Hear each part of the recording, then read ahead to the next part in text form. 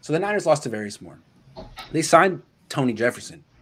But they kind of play different positions. Tony Jefferson's a strong safety. Uh, Moore is more of like a free safety cornerback hybrid. Do you think the Niners need to sign another safety? Why? Why not?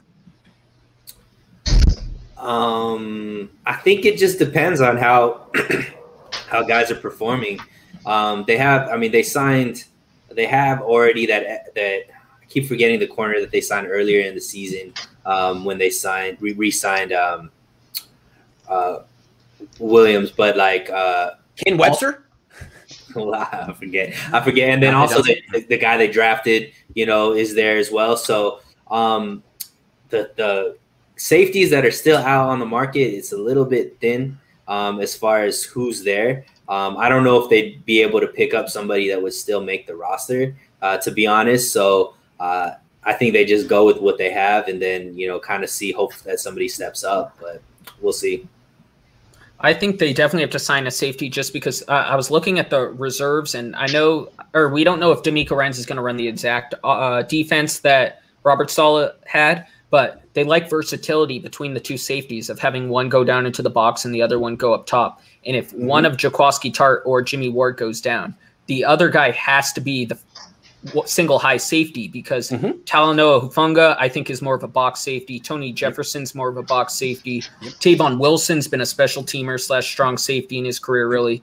And then it brings you to it, Marcel Harris, who, I mean, everyone's lasting impression of him is that Green Bay Thursday night game. And I think he's still chasing Marquez Valdes Scantling down.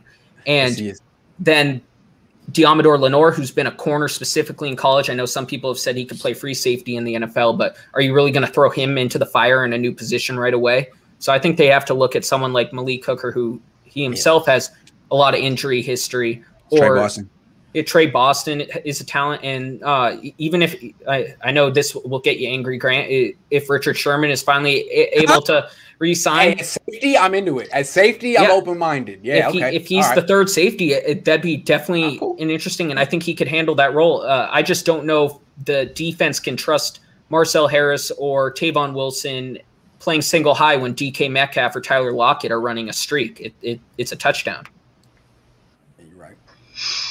You know, I don't I don't think there's really anybody that's out there on the free agent market that that's better than what the 49ers have on the roster. So, you know, I'm going to say no at this point. Mm-hmm. You know, Mav brings up some really good points as far as the box safeties. And I know I've been down on Hufanga as a safety as well, kind of thinking he needs, needs to be more of a linebacker. But when you look at Hufanga, for example, he's a guy who plays really well with the ball in front of him. So if you get him as a as your as your high safety and get him back there so that he has everything in front of him where he's not having to turn and run with people and everything's in front of him so he can attack forward, I think he'd be okay. He's still going to struggle a little bit at angles and those kind of things, but he could possibly do it. Uh, you know, Tony Jefferson is kind of a similar type of a player from everything I've heard, but I, I really don't see anybody that's out there for them to, to bring. So at this point, you know, saying that I think they need to bring somebody in, I don't have anybody that I can I can suggest. So I think it's it's they, they have a lot of depth at that position. Um, it does hurt them that they lost Moore because of his flexibility, but I think they've got some other guys there that can handle the job. Yeah, I think other than Jimmy Ward and Jaquiski Tartt, the only safety on the team who could really play single high is Moore. Um, so they need to replace that. Uh, and even Richard Sherman, could he do it? Maybe. But I think you'd like a little bit more range. And the thing about DBs is you want guys who are like 25 at DB.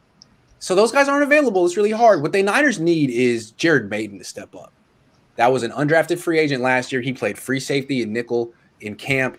I thought he looked good, but he's like one of these undrafted free agents who might do something like Kevin Givens down the line. If he could turn it, he has a similar skill set to Tarvarius Moore. He's not a, as fast or as physically gifted, but he started at Alabama. Um, if Jared Mayden steps up, they're okay. Otherwise, they got a bunch of strong safeties and Jimmy Ward. That's where we're at.